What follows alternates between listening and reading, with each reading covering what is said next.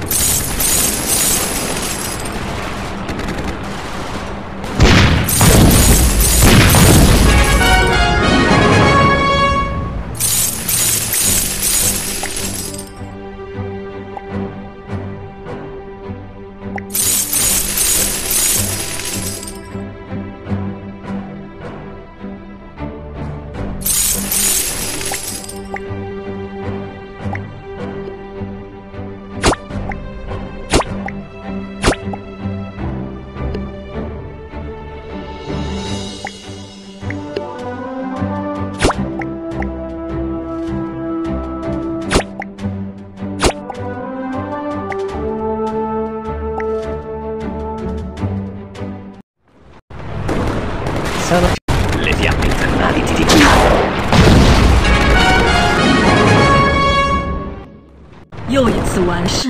mein kleiner elektromagnetischer Freund.